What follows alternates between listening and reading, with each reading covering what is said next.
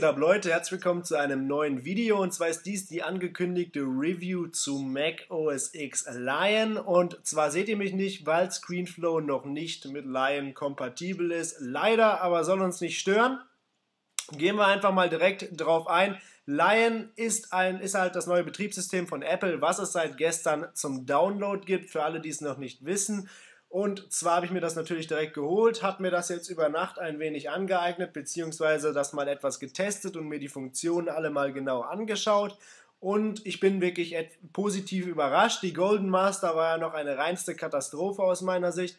Jetzt ist Lion auf jeden Fall sehr, sehr gut geworden und wirklich auch ähm, für den täglichen Gebrauch geeignet. Man muss sich allerdings daran gewöhnen, es gibt einige Neuerungen, die nicht so cool sind. Dazu kommen wir allerdings gleich. Zunächst einmal befinden wir uns hier auf meinem Schreibtisch Nummer 6, glaube ich.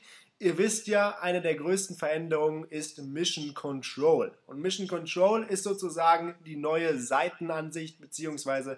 die neue Schreibtisch- oder Fensteransicht. Die gibt es jetzt nicht mehr im klassischen Sinne. Das bedeutet, früher hatten wir das noch dass jetzt beispielsweise ähm, die verschiedenen Fenster so angezeigt wurden. Das sieht jetzt etwas anders aus. Ich werde es euch direkt mal zeigen. Und zwar folgendermaßen. Wir gehen jetzt in die Mission Control einmal rein. So sieht das jetzt aus. Jetzt sind wir hier in der Mission Control und hier oben haben wir jetzt die verschiedenen Fenster, die ich erstellt habe, beziehungsweise Schreibtische heißt es hier. Und die können wir jetzt hier durchgehen haben wir einmal Schreibtisch 5, Schreibtisch 3 und so weiter. Die sind jetzt auch nicht geordnet. Das bedeutet, die kann ich jetzt hier auch x-beliebig ordnen. Und wenn ich jetzt ein neues Fenster hinzufügen möchte, was allerdings wirklich bei einem Neustart sind die noch alle vorhanden. Das bedeutet, ich muss jetzt nicht jedes Mal sechs Fenster erstellen. Dann gehe ich hier einfach oben rechts in die Ecke, drücke auf das Plus hier und dann wird automatisch ein neuer Schreibtisch erzeugt den wir dann natürlich auch gleichzeitig wieder löschen können, weil wir ihn jetzt so nicht brauchen. So sieht Mission Control aus. Mission Control ist wirklich eine sehr, sehr gute Fensteransicht, wie ich finde. Allerdings ist sie auch sehr, sehr gewöhnungsbedürftig. Ist ähnlich gemacht wie ein Dock. Das bedeutet, wenn man jetzt hier drüber geht, wird auch leicht gezoomt. Jetzt können wir hier beispielsweise mal auf den Internetschreibtisch wechseln. Sieht folgendermaßen aus ist jetzt hier Google Chrome. Google Chrome wurde schon weitestgehend kompatibel gemacht, allerdings hat Google Chrome noch einige Tücken, nämlich wenn wir jetzt hier diese Full-App-Ansicht, die ja auch wiederum neu ist, auf ähm, äh, Lion, wenn wir jetzt hier in diese wechseln, indem wir jetzt hier diese äh, Tasten drücken, dann sind wir zwar im Fullscreen-Modus, allerdings kommen wir jetzt hier bei Google Chrome nicht mehr raus. Das ist so eine Sache, die muss auf jeden Fall noch verbessert werden. Vielleicht wisst ihr ja auch, wie man rauskommt. Vielleicht gibt es ja irgendeinen Trick, den ich noch nicht raus habe. Auf jeden Fall in der klassischen Weise kommt man nicht mehr raus. Nämlich normalerweise, das kann ich euch am neuen iTunes demonstrieren, kommt man bei, ähm, bei, bei, diesen neuen Full, App, äh, Full Screen Apps anders raus. iTunes hat das Ganze auch, die neue Version. Zack, drauf. Und wenn ich jetzt raus möchte, dann kann ich hier oben das Ganze einfach minimieren. Und dann bin ich wieder aus der Fullscreen-Ansicht beziehungsweise ja, bin ich wieder raus und dann habe ich wieder meine normale Ansicht von iTunes. Ihr seht vielleicht, ich habe noch nicht so furchtbar viel Sachen drauf. Liegt daran, dass ich Lion auf einer neuen Partition habe. Auf einer zweiten Partition bzw. dritten Partition auf meinem MacBook.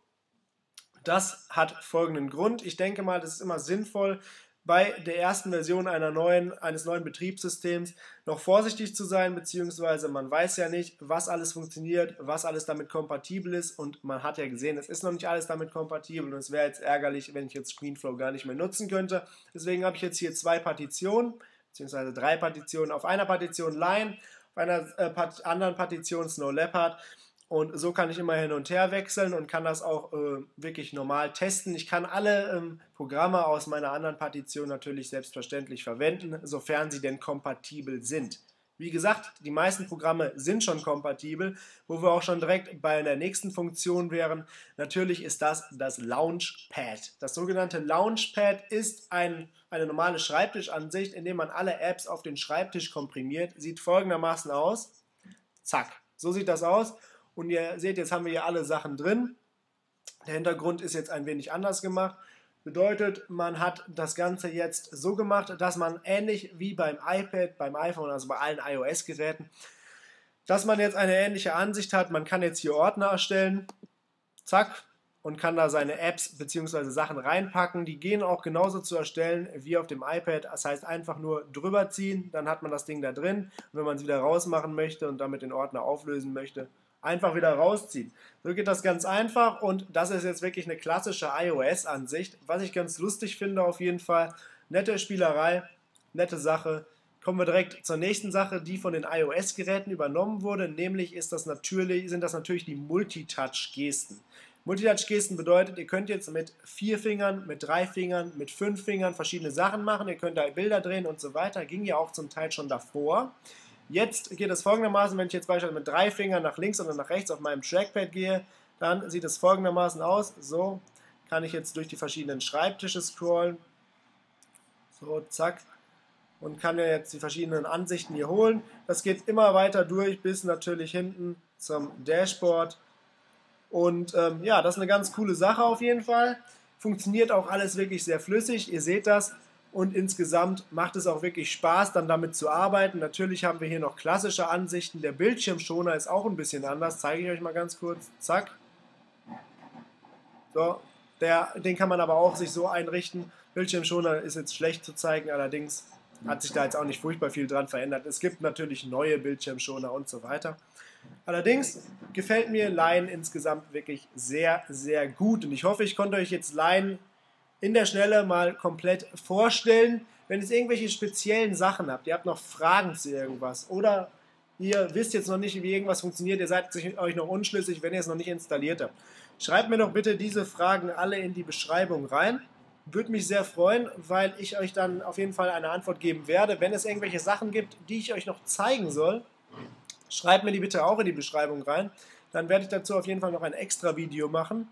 Und insgesamt ähm, kann ich jetzt nur noch mal abschließend sagen zu Line. Line gefällt mir sehr, sehr gut. Man muss sich allerdings erst an viele Sachen gewöhnen. Besonders die Sache mit Mission Control ist gewöhnungsbedürftig.